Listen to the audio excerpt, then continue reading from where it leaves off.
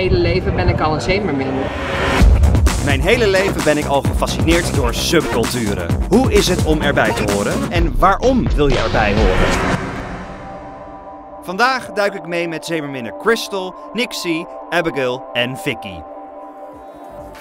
Jezus Christus, dit is een enorm zwaar ding joh. Je zit er allemaal in. Mijn staart en twee uh, stofferstaarten, dit zit. Oh, coleren. Hoe ben jij zeemermin geworden? Bij mij komt het vanuit uh, cosplay. Verkleden als een bepaald uh, figuur wat je leuk vindt. Vandaar kwam ik erachter van, oh, dat zijn zeemerminkostuums. Er zijn staarten waar je mee kan zwemmen. Want je hebt ook een zeemerminnen school opgericht, ja, toch? Ja, ja, die bestaat nu iets langer dan twee jaar. Het heeft dus echt een uitgebreide opleiding tot onderwater performer.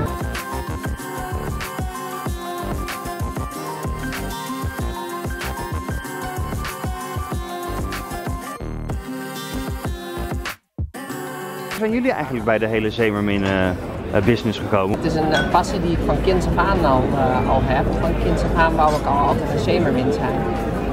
En, uh, dat is al begonnen toen ik vier was, toen ik Little Mermaid voor de eerste keer zag. Sinds die tijd wilde ik een, wilde ik een zeemermin zijn en heb ik me altijd een zeemermin gevoeld. En, ja. Wat voor gevoel krijg je als je dan een zeemermin bent? Thuiskomen.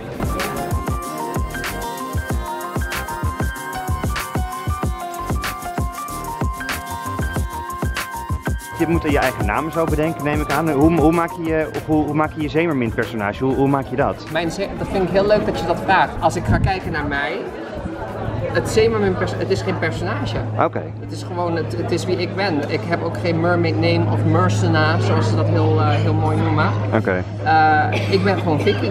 En of ja. ik nou die staart aan heb of niet, ik ben gewoon dezelfde. En ik ben mijn hele leven ben ik al een zeemermin. En het is niet een, een rol aannemen of een, uh, zoals bij cosplay dat je dus in de rol van iemand gaat. Nee, ik ben gewoon, uh, ik ben gewoon mezelf. Ik heb, ik heb wel een andere naam aangenomen. Ik ben Mermaid Nixie en ik heet gewoon Kelly in het echt. En uh, vanuit het begin heb ik dat eigenlijk gedaan omdat ik me een beetje schaamde voor dat ik mermaiding zo leuk vond.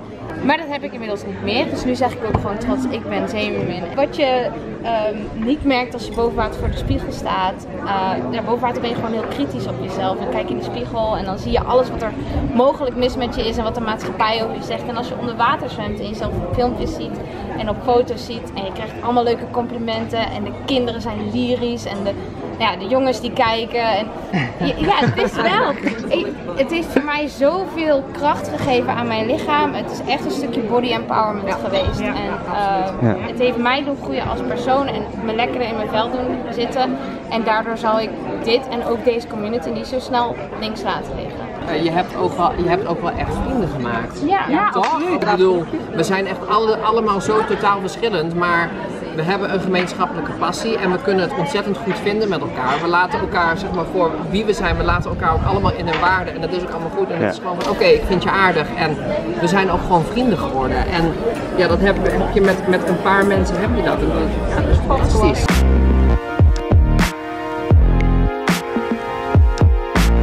Ik sta dus nu boven uh, bij de Experience Zone en het is echt te gek. Er is gewoon een heel zwembad vol met zeemerminnen. Ik denk dat er bij elkaar wel iets van 15 of 20 zeemerminnen hier nu zijn. Het is echt te gek. Het is echt super diep, 10 meter diep. Er zitten echte vissen in, die best wel groot zijn. Je voelt gewoon zoveel warmte en liefde bij al deze, al deze mensen. Het is echt heel erg leuk. Is het heel zwaar om te zwemmen? Ja, het is uh, 15 kilo wat je aan je, aan je benen hebt. Dus uh, en in het water is het natuurlijk wel gewichtloos, maar niet iedereen kan zomaar met een staart gaan en het Nee. water in gaan. Ik bedoel, er moet echt wel... Ja, precies. Iemand die er geen ervaring mee heeft, die kan echt wel verdrinking op, uh, opgaan.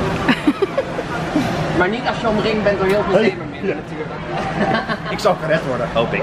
Ja, Ja, ik ga er maar bij zitten, want dat zie ik ook iedereen doen. Net al gezien, als je dus siliconen hebt, dan is het dus echt best wel wat poert. Maar zit er wel goed in.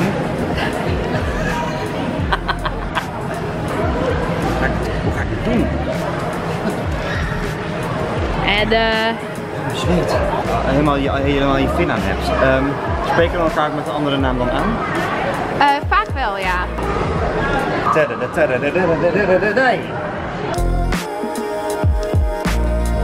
Niet lopen in de staart, dat is echt dat dat. Het zwakste stuk van je staart waar je nu op staat. Uh, en verder regels. Eh, veiligheid staat wel op nummer 1. Oké. De meeste van ons zijn ook eh, freedivers en dus ook gecertificeerd om eh, reddingsacties te ondernemen. Ik ga mijn GoPro aan en dan eh, zien we het the other side. Hi. Oh. Oh mijn god, hoe zwem je nou helemaal? Hoe zwem je nu helemaal? Anders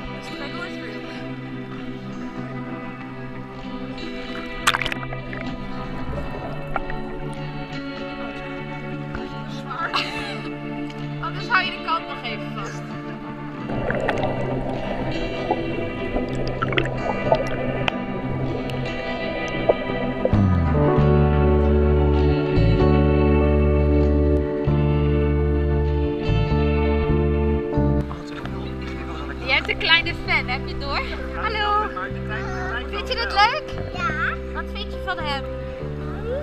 Vind je hem mooi?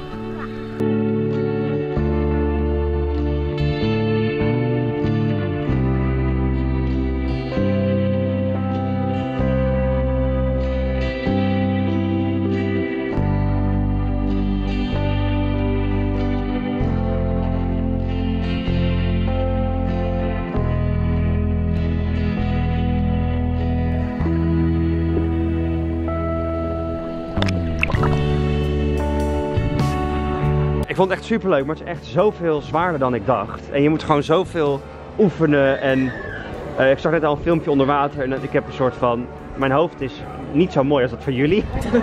La, laat ik dat even zo zeggen. Als jullie zo in zo'n grot gaan en zo, dat, dat zou ik echt niet durven. Maar dat vind ik zo vet. Het ziet er dan zo goed uit. Als je blijft komen, dan leren we je het. Hey. Oefenen. Totdat jij die grot ook kan. Ja, en kan, kan iedereen gewoon zeemermin zijn? Ja, uiteraard. Ja, uit- uiteindelijk wel. Ja. Mermaiding is voor iedereen.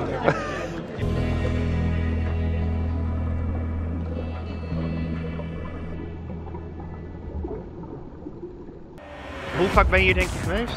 Nou, ik denk meer dan naar de wc.